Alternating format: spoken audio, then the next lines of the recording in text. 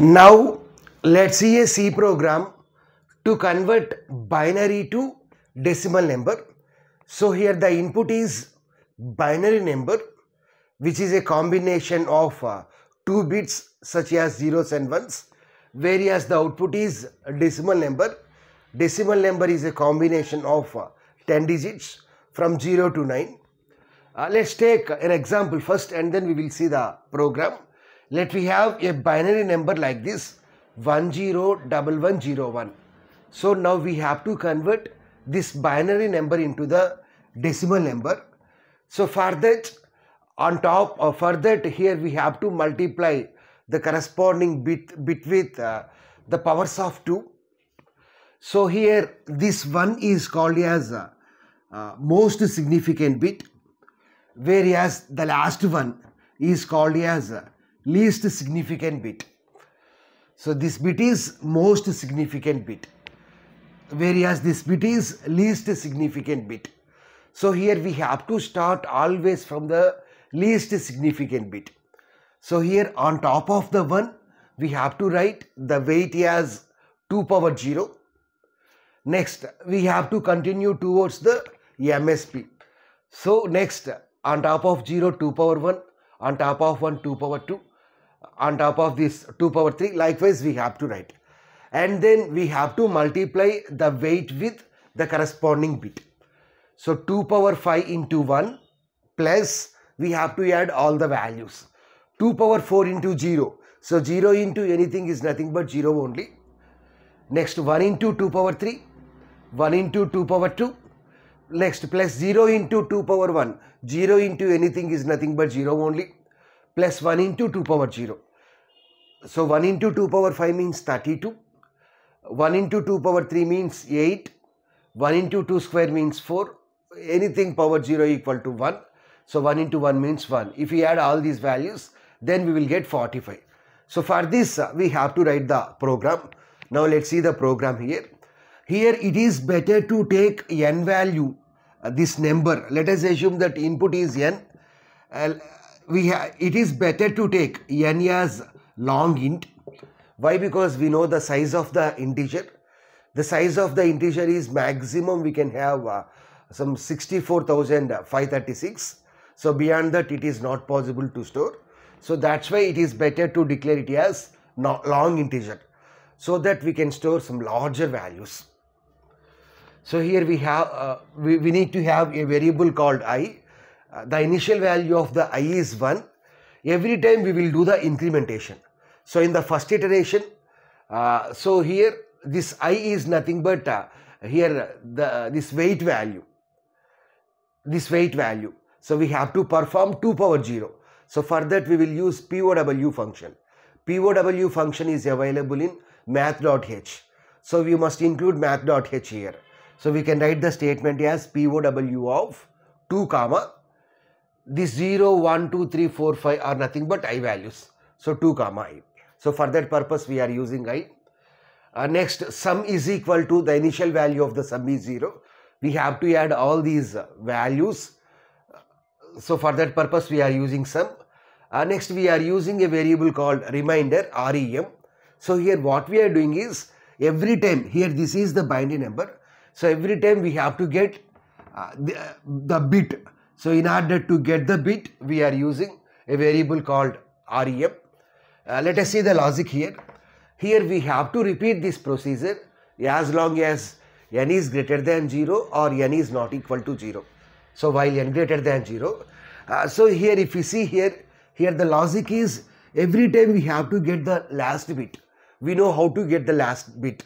In order to get the last bit, we have to perform modulo 10 operation. So remainder equal to n modulo 10. So if you see here, uh, 10 is the number. Uh, here uh, 101101, we are performing modulo 10 operation. so here we will get 10110 so this is nothing but quotient. So if you multiply 10 with 10110, we will get 10 1100. If you do the subtraction, we will get 1. So this one is nothing but in the first iteration. This one is nothing but the remainder. So for that purpose, we are using this statement. So every time we will get the last bit. So in the first iteration, 1 is the last bit. In the second iteration, this 0. In the third iteration, this one likewise. Uh, next, what we have to do?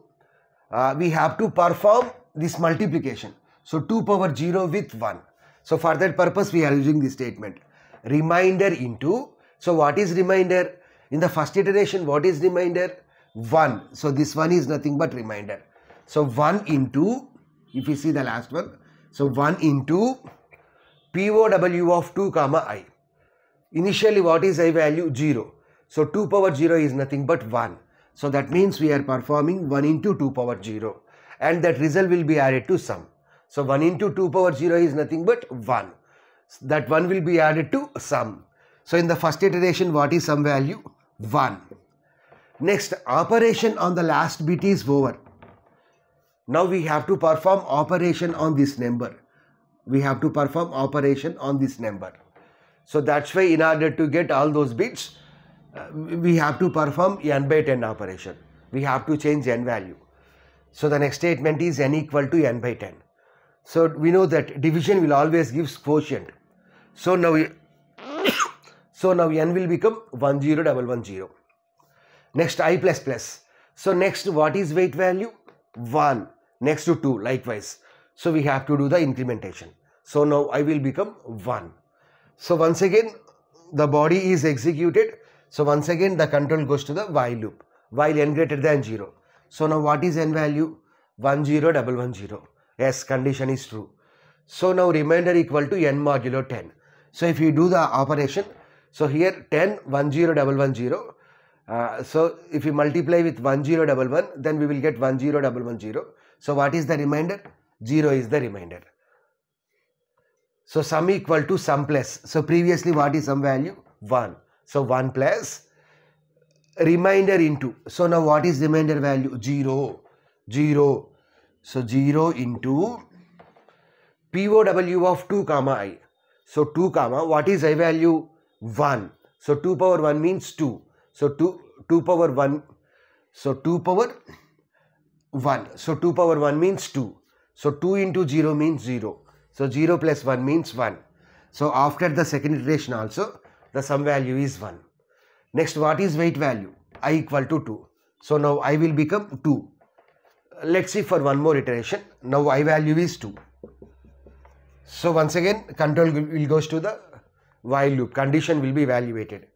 So here we have one more statement. What is the statement? n equal to n by 10.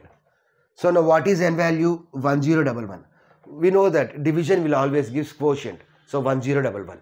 So now what is i value in the next iteration? i value will become 2. So once again control will goes to the while loop while n greater than 0. What is n? 1011. Yes, 1011 is greater than 0. Condition is true. So remainder equal to n modulo 10. So if you do the operation then what is the remainder? 1 is the remainder. So next to sum equal to sum plus. What is the previous value in sum? 1. So 1 plus remainder into. So now what is remainder value? 1. So 1 into this operation. 1 into POW of 2 comma i. So 2 comma what is a value? 2. So 2 power 2 is nothing but 4. 4 into 1 means 4. So that 4 will be added to 1. 5. So next this this it will be added. It will be 1 into 2 power 3 will be performed and it will be added to 5. So likewise if we do all the sums and uh, multiplications we will get 45 as the result. Uh, now let's see the program execution in the laptop. Let's see the program execution. Uh, here we have math.h. Why? Because we are using POW function. POW function is available in math.h. I will uh, share this uh, program in the first comment. I will ping that comment. So please refer the first comment. Next n is declared as long integer value. Uh, next we need i remainder and sum. The initial value of i is 0 sum is 0 next n is the input here. But for n what is the format specifier? Percentage ld l stands for long integer. So d stands for we know that decimal number. So this is the logic. So while n greater than 0 so first we have to get the last bit. So remainder equal to n modulo 10 and then multiply remainder by POW of 2 comma i and then that result will be added to sum. Next in order to get the next we need to perform operation on the uh, remaining bits. So for that we require uh, that the remaining bits. So for that the statement is n equal to n by 10 uh, and then uh, and then uh, i value will be incremented by 1 for, for the next weight. So whenever the condition is false then display the decimal number. So here the decimal number is nothing but uh, uh, sum value. Now let us run the program. So let the number is 101101 is the number. So we will get output as 45. So let us run the program one more time. Let the number is double one double zero. So what is the decimal number? So uh, 0 means 2 power 0. Again 0 means 2 power 1. So 1 means 2 power 2, 1 means 2 power 3. So 8 plus 4 is nothing but 12. So 12 is the output. So in this way we can convert uh, a binary number into the decimal number.